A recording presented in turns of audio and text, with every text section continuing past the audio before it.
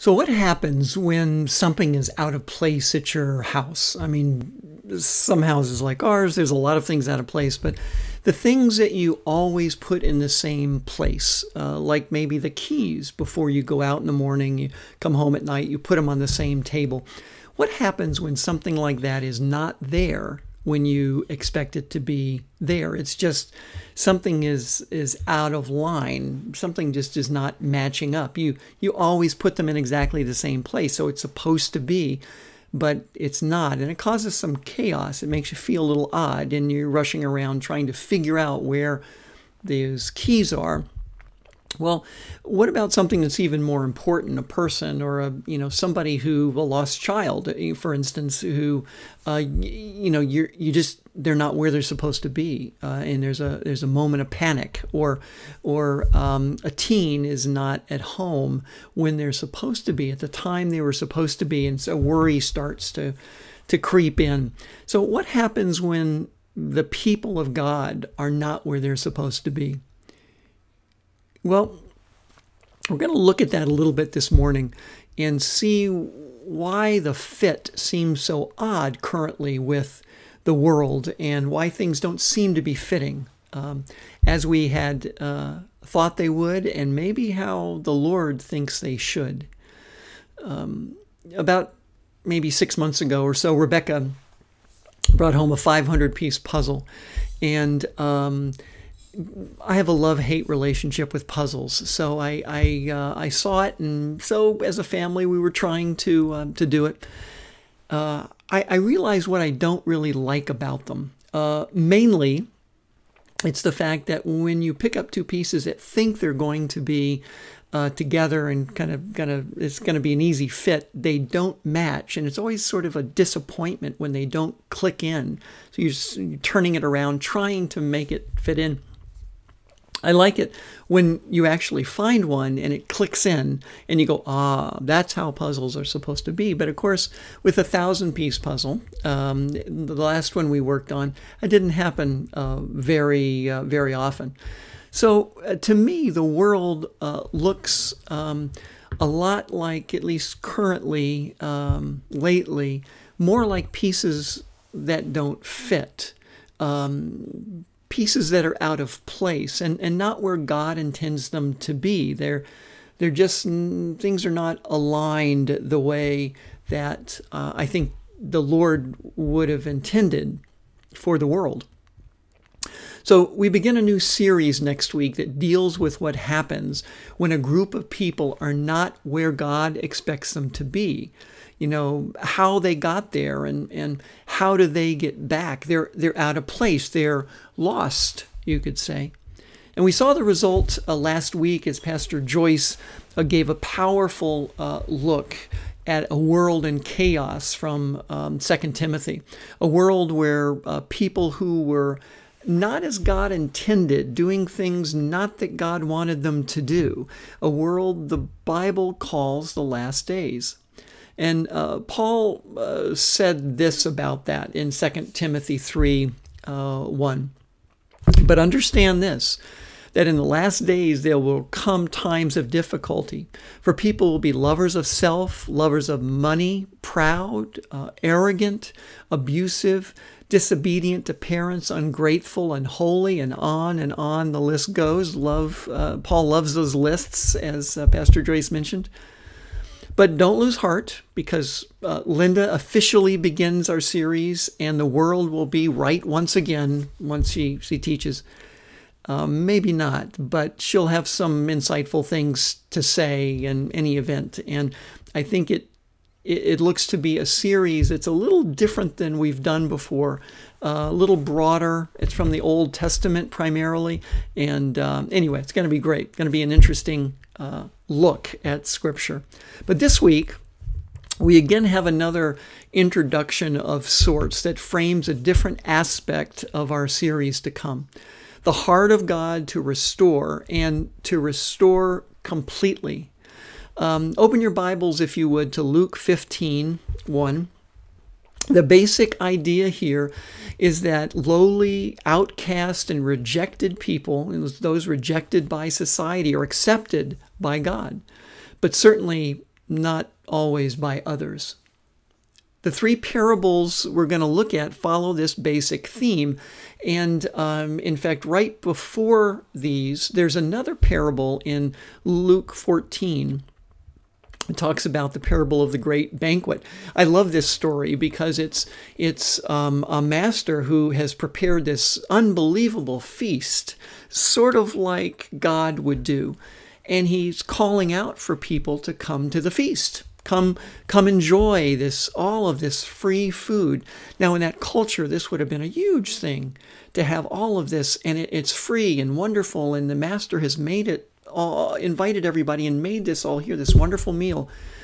And uh, people are making excuses as why they can't come many of them and so the servants from go back to the master and say you know people are making excuses they they won't come. And so uh, he gets angry. And, and um, he says to his, his servants, uh, Go out quickly into the streets and the lanes of the city and bring in the poor, the crippled, the blind, and the lame. And they will come and enjoy this feast that these other people have rejected. And so um, these parables we'll look at today are similar in in um, that aspect. Is it's the downtrodden, those rejected by society that the Lord lifts up, accepts, and uh, they even seem to be more open to the things of God often than uh, than just regular people uh, going on day to day. It's sometimes the needy um, are are longing for something, longing to be accepted, and we'll see that in these stories. Is um, as uh, Jesus speaks to the Pharisees and the scribes uh, who uh, reject the downtrodden and re- reject, reject those who are um, uh, of um, the lower parts of society in that culture. Um, uh, they start to realize that Jesus does not reject them, but the religious elite do. And so uh, it's, it's a great story um, for uh, for us to look at uh, as we look at God's acceptance and restoration of people. So, first of all, in Luke 15, 3 to 7, there's the story of the lost sheep. And it reads like this What man of you, uh, having a hundred sheep, if he lost one, does not leave the 99 in the open country and, and go after the one that's lost until he finds it? And when he has found it, he lays it on his shoulders, rejoicing. Uh, and when he comes home, he calls together his friends and his neighbors, saying to them, Rejoice with me, for I have found my sheep that was lost. Just so, I tell you that there will be more joy in heaven over one sinner who repents than over 99 righteous persons who need no repentance. The next one, next story is is almost exactly the same, except it's a lost coin. Same thing. The coin is lost. Diligent, uh, looking, searching for the coin. It's found. There's rejoicing with uh, friends and neighbors. And um, it ends the same way uh, Rejoice with me, for I found the coin that I had lost. And just so I tell you, uh, Jesus says, There is joy before the angels of God over one sinner who repents. So both parables have the same basic idea. Something very valuable was lost. A serious search takes place. The, the item is found, and then a celebration of rejoicing with family and friends. Heaven and angels, in essence, God accepts those with repentant hearts. And so the third uh, parable we're going to look at is the prodigal son. It's in Luke 15, starting at verse 11. So let's look at this one a little bit more closely because this leads us to this truth about God's acceptance and God's restoration of his people. Remember, the, the key in all of this is restoration, but it comes from repentance. And we'll talk about that in, in just uh, a minute. So uh, before I get into this, though, there's uh, Rembrandt painted two pictures of this uh, parable, and um, they're both beautiful in in uh, their way. It's a style that you have to sort of get used to. This old world um, style. It's much different than we see today. If you're a connoisseur of paintings, um, but uh, it's interesting how he painted them. He painted two, and they're both come from sort of different angles. At that time, painters who had these these stories, especially the prodigal son, they they interestingly they keyed in on the um, the son who had gone away, but he had gone away to a really mm, raunchy life, a, a, a, life of sin, and and so there are multiple paintings in in the time periods around Rembrandt where uh, the paintings revolve around um, the the uh, son, the prodigal son, who had left his father, gone away, taken the inheritance, which we'll talk about in just a minute, and uh, he ends up in wildlife, in, including probably brothels. And so the paintings uh, often have these these uh, men in in brothel kinds of settings. Um, they aren't you know, too um, crazy looking from the point of view of of uh, what's around today. I'm sure, but at that time they were racy, and so um, Rembrandt also painted one of those types of uh, paintings, where uh, it's called the the Son at the Brothel, I believe, something like that. But uh, later in his life, he painted, um, I think, a more powerful uh, one, which is um, the son um, kneeling before the father uh, and receiving the acceptance and the forgiveness of the father despite everything that the son had done. And um, it, it's, it's a very powerful, I think, moving uh, painting. Um, so let's take a look at at these um, these this particular story and what we can what we can get uh, from it. So the father's reaction in this parable is very telling. It points directly to what we need to know as we start our series. Um, along with the lesson of acceptance by God, of a son who repents. The parable mirrors uh, the people of Israel as they walked away from God multitudes of times over many, many, many years. Uh, a perfect picture of what happens when God's people are not where they're supposed to be, when they walk away from their Creator. And uh, we're going to look at, at this particular uh, piece because it's significant that we learn this lesson before we start to go into the reality of these uh, people who have left God at various times and what happens to them. So we're going to look at this first and, and look at God's heart. In verses um, 11 through 13 in chapter 15, it says this There was a man who had two sons, and the younger of them said to his father, Father, give me my share of the property that's coming to me. I want what I deserve. And he divided the property between him and and uh, another brother. Not many days later, it says the younger son gathered all he had, took a journey into a far country, and there he squandered his property in, in, in reckless living. The whole scenario is, is odd, um, and it would have been very odd to the people listening uh, to this who were still the scribes and the Pharisees. They had heard the other two parables and they were still there uh, listening to Jesus as he, he taught um, about this particular thing. And um, um, the younger brother got the inheritance he asked for.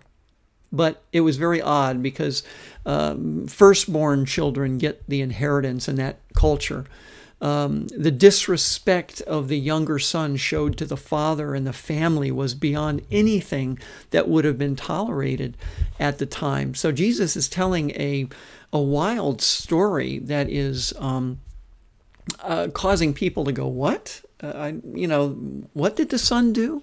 Would have been shocking to them. And in fact, a son who treated his father like this could be stoned to death Uh, this was very serious, and the fact that the father even allowed it is beyond uh, understanding. So, the picture Jesus is painting is one of the worst kind of sin and rebellion, abandonment, uh, a shaking of, of, a, of a fist in the face of the Father and saying, I don't want to live here anymore. That's it. I, I don't want to work with you. I don't want to, um, to be here. I want my money. I want to go. So the picture is completely of self and sin uh, he had become his own idol. He was worshiping himself, basically. He had replaced his God. He had replaced his God. He was acting in that role.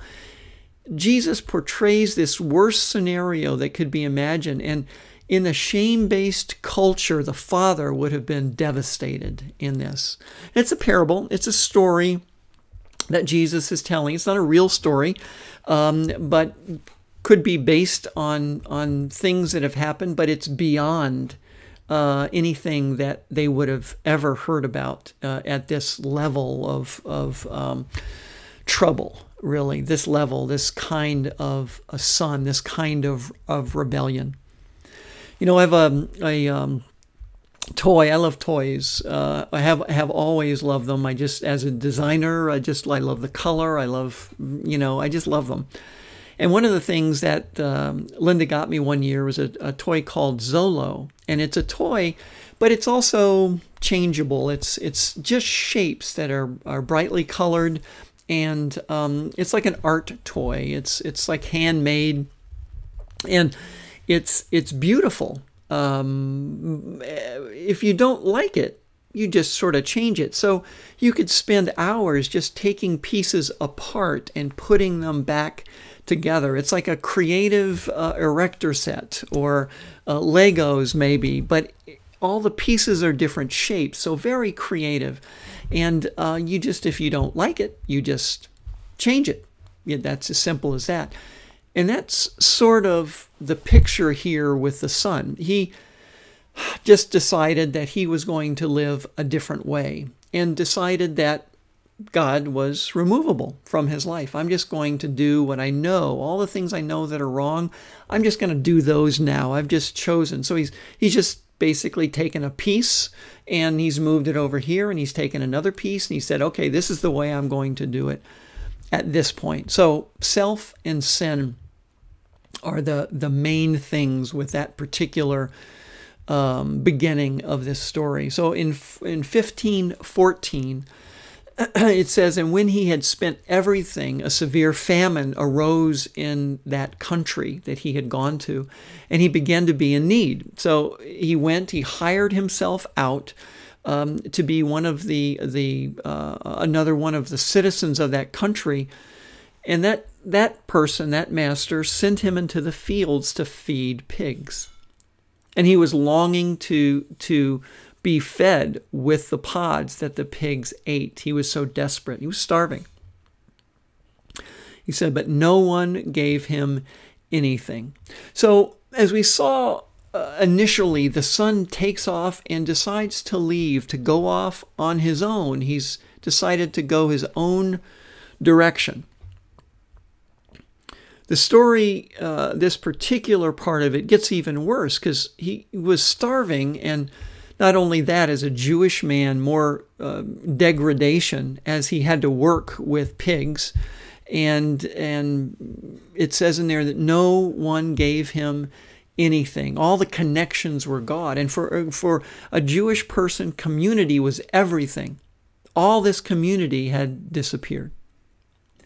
There's a phrase uh, I like from a famous uh, advertising um, executive um, and it applies to many areas of our uh, of our faith. And it's called "Afflict the Comfortable." Make the people reading that ad a little troubled by what they're seeing. Catch them off guard. Make them squirm a little. The Lord does this with us to get our attention. Wakes us up. Uh, to upset the apple cart is sort of what he does. He he has to at times to say, wait a minute, you're going in the wrong direction.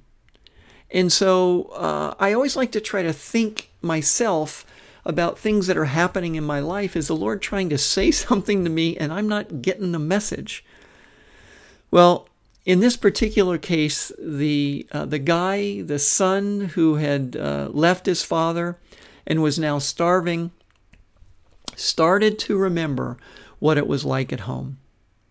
And although it would have taken a lot of courage, he started to think about what was there and what he had with the pigs and, and eating what they ate, basically.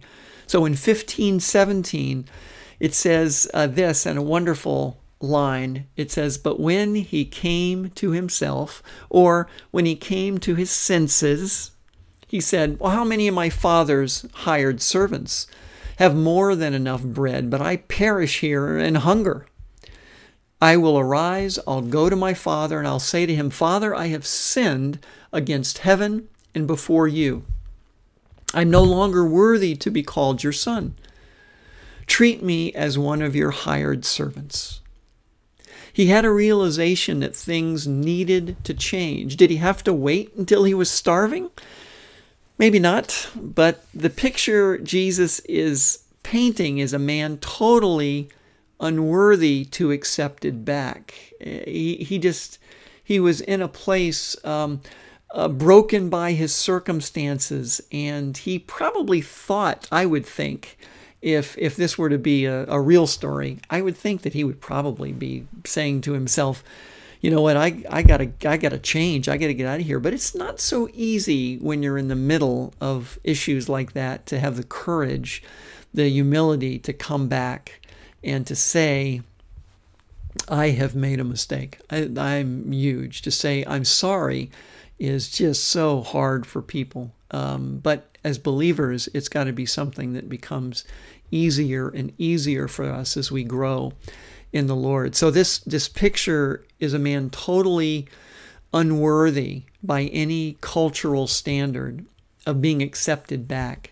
He's broken by him circumstances, and at least he now had this understanding of who he was, no longer deceiving himself. He had reached the bottom and said, Maybe I could go back. And um, I've had a lot of these types of situations in the pastorate. The the the latest one uh, that I had, where I had a like a light bulb experience, uh, was was um, on vacation this last August, and I I thought to myself, as I was reading a book um, that the church really needs to make disciples. now, you know, that's pretty standard, Jim. Uh, you didn't know that? I mean, that's kind of what the church is supposed to do, right? I knew it in theory, but I needed a revelation of how serious it was. Maybe, maybe not a revelation. Maybe it's better called a revolution to open my eyes to what it really meant to be a disciple. I had to deal with that myself. What does it mean? It's, you know, it's all fun and games until you start telling people that they have to die to themselves, abandon their will, and follow Jesus without hesitation. It's all good until that point. And so being a disciple is is different than just being a Christian or a believer. And so I had to put it in a new perspective in my mind. And I guess I had just missed it. And um, it was not good. So I, I, I think I, I, had a bit of deception in my mind, thinking that um, people really didn't didn't need, didn't need to be like this. I mean, it wasn't that hard, but in reality, um, it is. It is, and God helps us. Obviously, uh, the Holy Spirit gives us the the peace we need through difficult situations as we grow and learn how to be disciples. But nevertheless, um, God calls us uh, to be disciples, and it's a high calling. I'm sure, by the way, at this point, the Pharisees and the scribes were saying, you know, good, he deserved what he got. this kid. He spent all of his father's inheritance, was was willingly um, uh, apart to in the middle of sin after sin, living with Gentiles, no community around him to help, feeding pigs, starving. He got exactly what he deserved. He, he did the wrong thing to the Father, and, and this is what he deserved. So the scribes and Pharisees were right along with this story with Jesus. And then in 1520, um, there's a part of the story where I think that the scribes and the Pharisees probably started to go, uh oh, you know what? Because it says in verse 20, he rose and came to the Father. But while he was still a long way off, it says his father saw him, felt compassion, and ran and embraced him, kissed him. And the son said to him, Father, I, I have sinned against heaven and before you. I'm no longer worthy to be called your son. But the father said to his, his servants, Bring quickly the best robe and put it on him. Put a ring on his hand and shoes on his feet. And bring the fatted calf and, and kill it, and, and let us eat and celebrate. For my son was dead and is alive again. And he was lost and is found. And they began to celebrate. Now, this is a part of the story that had the, the Pharisees probably livid. Um, the, the last half of this story we're not going to cover uh, today, but it's uh, verses 25 through 32 about the older brother who um, was the one who was really, Jesus was saying, was like the Pharisees. And when you read that part of the story, you'll see why the Pharisees and scribes were probably even, even more mad than than this part of the story when they saw that the the uh, the father the way the father had treated the son.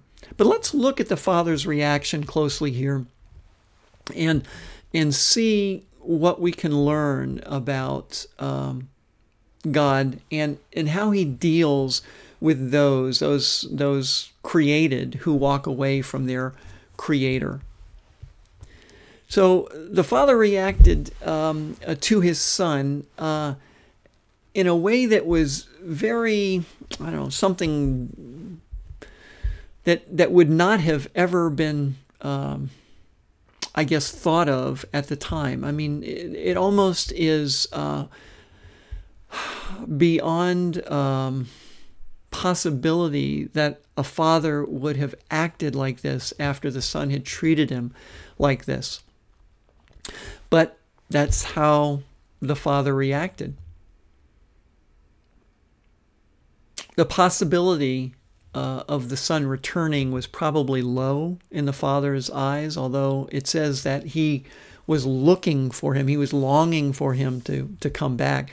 Jesus had painted quite a picture of an unlovable child, rebellious, doing really everything wrong. It, it, the Father here is a picture of God and how God treats the those that repent, those that humble themselves, that change, that ask for God's forgiveness. All three stories, by the way, mention repentance. And we probably know what this means, but for the sake of continued learning, repentance means to turn around. It, it doesn't mean you're sorry, although it may involve that. Um, it's to go in the opposite direction. The word means to turn around, to head in a different direction. Uh, it's the realization that you've done something that you need to be covered of, taken away, that the sin needs to be taken away. It needs to be covered so it's not holding on to you anymore.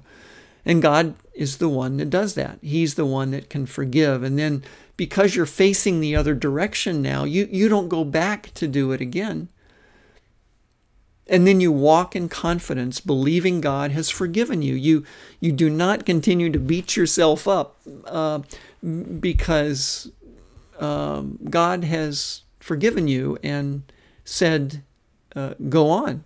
This is not something that has a hold on you any longer. I've forgiven you. And so you go with confidence saying, Yes, God has forgiven me. That's the one of the most wonderful things in the world in Christianity about the Father is this forgiveness of sin. It does not have to hold us down, destroy our lives. It's something God forgives.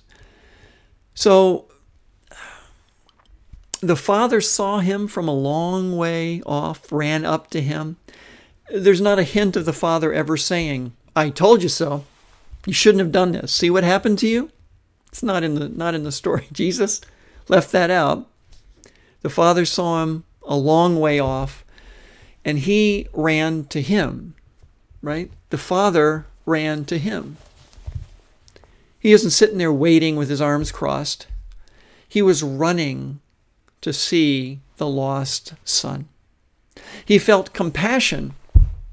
And by the way, it says he felt compassion in in that story, uh, and it was a feeling he had before the son's confession.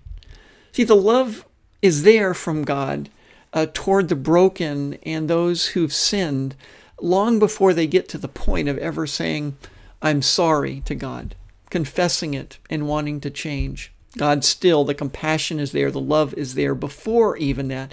He loved us really before we even understood what love was, right? He loved us first. He embraced him and he he kissed him. By the way, in that, that culture, a sign of forgiveness and of restoration of a broken relationship, that, that embrace and that, that kiss. Also, by the way, before the confession of the, the son, embraced him and kissed him, a sign of forgiveness and restoration of a broken relationship. See, God was way ahead of him. He, he this this is exactly what um, Jesus wanted to get across uh, to everyone listening. The initiative in all of this was taken by the Father. He was taken by the Father. He was the one who moved to him. Uh, the Son begins to repeat the predetermined confession uh, and the, the father interrupts him. Remember, it says, and the son said to him, Father, I have sinned against heaven and of you, and I'm no longer worthy to be called your son. And before he could go on, the father said, Well, servants, bring the servants, have them get the best robe and the ring and the shoes. The father didn't even let him finish the confession that he had memorized. It's, it's the exact words that he had said before, except he wasn't able to finish the last part of it. The Father was already there giving him what he used to have full restoration. And, and he, he calls for um, to, to dress him. And it's interesting because it's almost like he's, he's dressing him in the clothes that the son wore before he left the best robe. Some commentators think that best may refer to a previous robe, one that he had owned before. And a ring, uh, not an ornament, but a symbol of authority. It was something that the son would have worn in the house as um, one of the sons of the master. Shoes, a sign that a person was a freedman, not a slave. The, the master wore shoes in the house, by the way, not all the guests, when, when the guests came, all the guests removed their shoes before entering. But he's bringing him the shoes. Again, a, a sign of, of authority, of possession, of, of him being part of the house, being part of the family, being restored. And lastly, a party. And the animal um, in the language that's used here is was one that was uh, especially fed and kept for a special occasion. It was it was done for this special time, you know. Um, it wasn't just one of the normal flock or one of the normal herd that was just taken. It was one that was um, being readied. If we were to read too much into the story, uh, maybe keeping it um, for the son to come back, but doesn't say that. The best part about all of this, and it ends with total restoration, is a father says at the very end, you know, we we have to do this. This is what we have we have to do because he was dead and now he is alive. This is in verse 24. My son was dead and he's alive again. He was lost and is found. And they begin to celebrate. Total restoration. And that's the God we worship. That's the one who comes and can offer that to, to all of us. Uh, whether it's before we know Jesus Christ as our Savior, or it's issues uh, as we're living as Christians that we need to return to Him. But that's the that's the God we worship. That's the that's the one. That's who He is. And so uh, today, as we close, um, I want you to think about um, what God is here to help you to do today. He, he wants to meet you. He can, he, he's coming, he's being proactive like he always is. He's coming to meet you today in prayer. And what he wants to do is, is meet you in that point where you need him to restore. You may know what that is right off the bat, maybe something the Holy Spirit has to say to you, but He's come to restore and not just to fix a piece here and there. God restores fully when allowed to. He, he loves bringing things back to where they were. It's part of our series to come up. We're going to be looking at how it how it uh, moved from Genesis and, and went through all the times when the people had left God. But God's ready today to restore. He's ready today for you to bring to Him the thing that is needed. It may be a person, it may be a child, it may be a husband or a wife. He's here, and we're doing this message, I think, because the Lord is here to restore. He's here wanting to do that for you and for me. And so I'm going to pray that we would lay, lay that before the throne this morning and um, and we could stand back and, and in one of our praise and prayer times give him all the glory for the restoration happening when it does. Okay, would you bow your heads with me? Father, we thank you and we praise you, Lord, that you are a God who restores, and not just partly, but you restore completely, Lord, when given uh, the a chance to do that in our lives, uh, given our will as it's handed over to you. So, Father, uh, we take just a moment, and Lord, we ask that uh, you would guide each of us to just bring you that person or that part of our lives that need restoration. it could be a way of thinking, of acting. It could be uh, an addiction of some kind. It could be um, a, a, thought pattern that leads to to uh, unhealthy things. Lord, you know what those things are. And they're they're different for each one of us. So, Father, we would ask that you would come, you would bring them to our minds. and we come, Father, and we we put that person or these thoughts or this thing, whatever it is, before you. And Father, we have a simple prayer. Father, come see this that I've laid before you. And Lord, uh, I'm asking that you would bring restoration, complete restoration, back to where it was at the beginning. Lord, if it's a relationship, complete restoration of the relationship. Lord, if it's if it's uh, an, an issue with thinking, uh, complete restoration of our mind and in a particular area. Lord, if it's physical, complete restoration, Lord. Father, there is nothing that you cannot do. There is nothing that you do not know about us.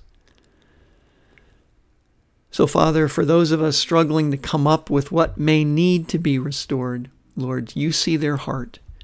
And Father, I ask that you would come and you would do your work in them as well.